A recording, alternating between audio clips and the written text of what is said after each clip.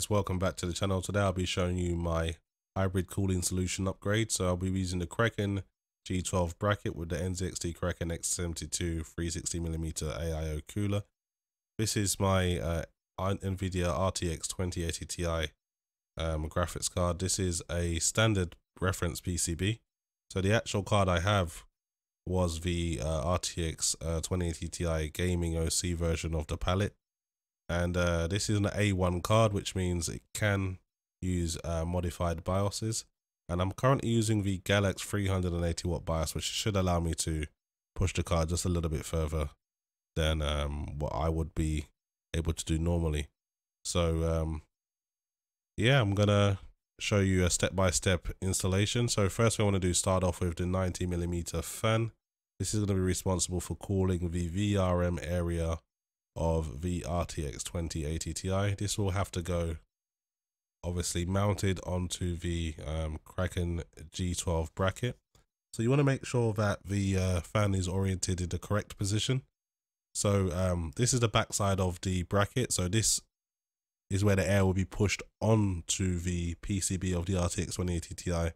This is the hole where the cooler will be uh, um, mounted as well. So four standard uh, fan screws all uh, connect this to the bracket. So I want to get these installed now so you guys um, can see how it looks. So that's how it looks guys. This is the um, side that will be facing downwards towards your um, case. So you will see the NZXT insignia at the side and the fans will just be blowing air onto the PCB. That hole there that you can see is where the uh, AIO will be mounted. So that's how it's going to look once installed and uh, so far um so good. So okay so now you have to choose the bracket that will mount to your graphics card.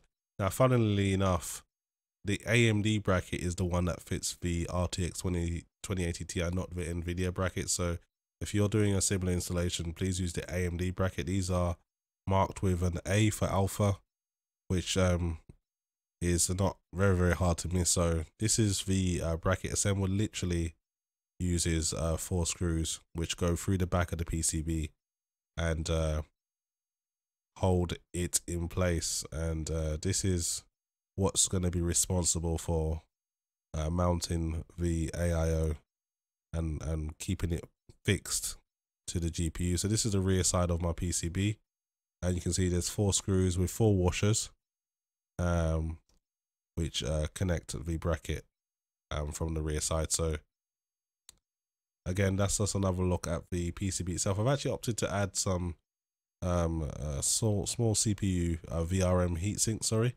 And uh, this may provide some additional cooling. This is not essential, by the way. I've ran my card for over a year without any VRM heatsinks, but I thought I'd try and add some just to provide some additional cooling, maybe even push my memory overclock a little bit. Who knows? But um, it's not essential, just so you know, guys. So moving on to the, the NZXT Kraken um, X72 cooler itself. Um, 360 millimeter rad. Um, high-end cooler, very, very costly, I might add. But um, I just thought, what the hell? Let's just uh, let's just do it. So three um three uh, static pressure fans that can do up to 2000 rpm each and that that should be not too loud in my system, even at maximum. That should be very, very tolerable. So these are all the fans connected now, all ready to go. So the orientation will be pushing the air from in the case outside the roof of the case. Yeah, this is it now. The uh, cooler mounted to the Kraken G12 bracket, looking very, very nice. Simple process you lock the cooler in place and you screw those four screws into place. So that is it guys. The cooler has now been installed and it's time to show this thing off and get it working. So this is the uh, Kraken G12 bracket with the NZXT Kraken X72 cooler in all its glory. You can see that fits quite nice in the roof of my Thermaltake View 71. And um, I'm very, very interested to see how well this thing cools. 360 millimeters just for a GPU, most would consider that overkill because it probably is.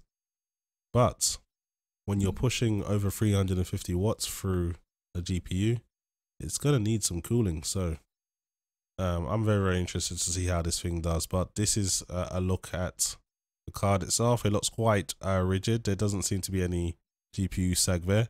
So I'm very, very happy with the uh, presentation. Uh, let's jump into the results now, shall we? So now that the hard part's out of the way, um, let's have a look at the performance. But before I do that, I just want to show you a few settings. So using the RTX 2080 Ti by NVIDIA at stock settings at the moment.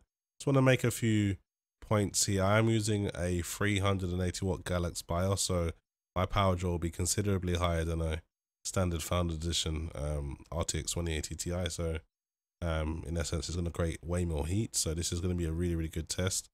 Um, so rather than run it at stock settings, I'll load my close to maximum overclock so you guys can have a good look at how this cooler can perform. So running at 2.13 um, gigahertz. And then I've added an extra 700 megahertz on the memory as well. Could push higher, but um, I just want to show you what my kind of everyday overclock runs at. So uh, Intel i9 9900K running at 5.1 gigahertz at 1.425 volts. Um, so one of the most interesting things I need to show you is the NZXT CAM software that accompanies the Kraken X72 um, AIO cooler. This is what's going to be responsible for your pump and fan speed. So what you can do you set up a custom fan curve which will allow you to monitor your GPU temp and adjust the fan speed accordingly. So this is essentially going to be controlling your GPU speed if you're wondering. And it just allows you full control and that's something that's uh, really good for me. So you don't need to make manual adjustments before you play games, etc. So uh, let's see um, how this cooler performs. And what I'm going to do is leave GPU Z up as well, which will monitor the maximum temperature in the background. So uh, the test I'm going to use is the Final Fantasy 15 benchmark. I'm going to be running at high quality, which is the highest um, uh, highest preset, should I say, and 3840 by 2160 4K resolution. So this is going to be a great workout for the GPU. So let's see how it gets on and while being pushed to its maximum. So the software that you see in the left hand side there is MSI Afterburner. That's also going to be responsible for monitoring all the GPU statistics that you can see. And um, your one won't look like this as you do need to tweak and customize it to your own desire. This is my custom layout. You're so good. that's why it looks the You're way good. it does. And stop.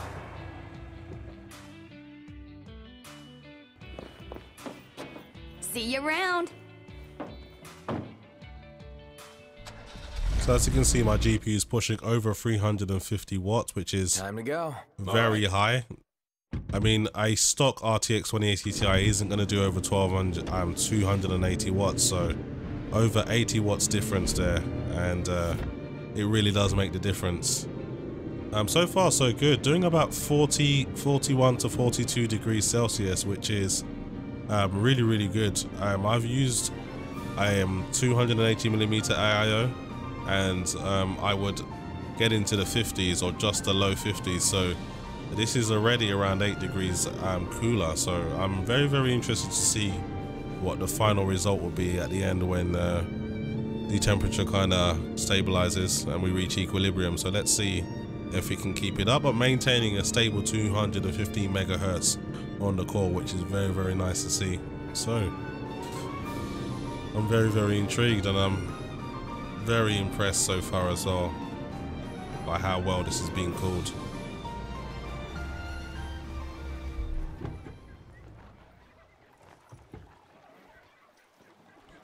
The audio profile from the fans are actually really, really good as well.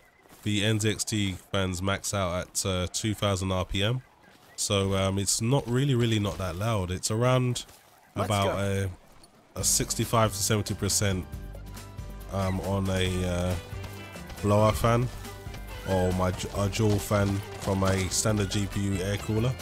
In my opinion, that's what I would compare it to. So it's uh, it's uh, doing a, a way better job for about the same type of audio profile. So um, I'm very, very happy with what I'm seeing so far. 43 degrees and just a little bit under halfway of the benchmark so far. So looking good.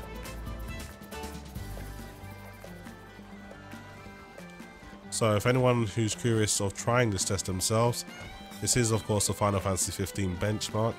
I'll put a link in the description so you guys can give it a go yourselves. And if you're wondering Nice you. how your GPU will do, there will also be a score at the end so you can compare your own performance as well as GPU temperature towards what I'm doing right now. This is a 100% um, pure result.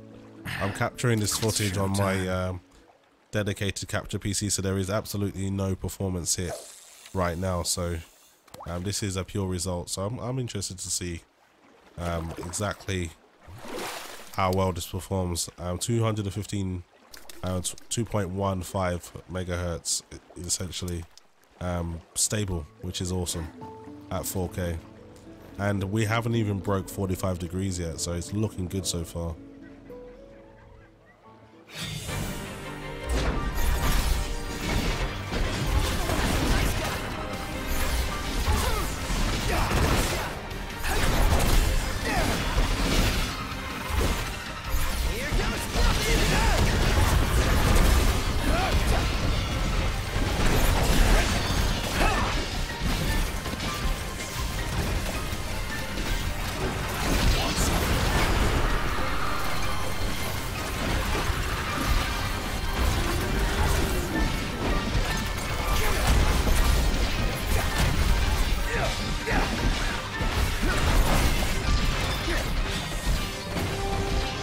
See, this bit's quite CPU intensive, so this part gives your CPU quite a good workout. You can see reaching highs of 60, 60% and over at times, so this will give your whole system a workout, and uh, it'll be interesting to see what kind of scores um, you guys might be able to share in the comment section, so don't be shy to do that.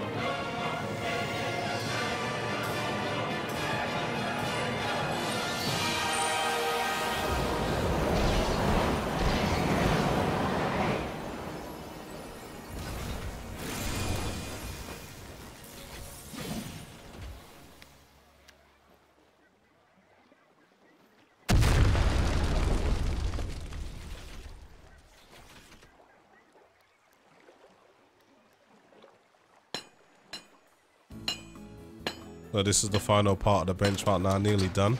Still managing to keep under 45 degrees, so I am thoroughly impressed.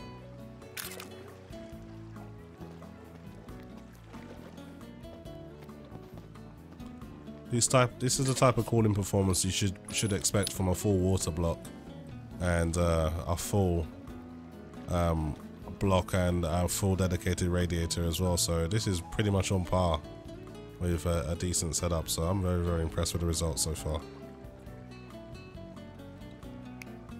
There's anyone else that's actually running a full water block with an RTX 2080 Ti with a custom BIOS, please let me know in the comment section what type of temperatures you're getting. I'll be very interested to see um, or hear from you in terms of what you're getting.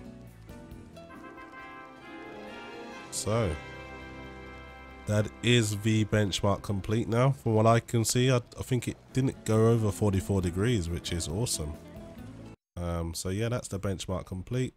Score of 7,106, but that's not so important. What is important is what GPU Z says the maximum temperature was. So max temp recorded was 44 degrees, averaged at 34.5, and with a low of 28 Celsius. So I am very, very happy with that. That is amazing to see that. Imagine what the cooling would be like with a stock GPU. I could pretty much run the fans silent and it wouldn't break 50 degrees at stock. So I'm happy with that. Time to reduce my overclock. And uh, time to um, end the video here. Um, hopefully this has been useful to anyone that's considering doing some type of um, custom hybrid cooling. I thought I'd share the upgrade with you guys so you can have a look behind the scenes of what I get up to every now and then. So hopefully you enjoyed the video and as always, thanks for watching.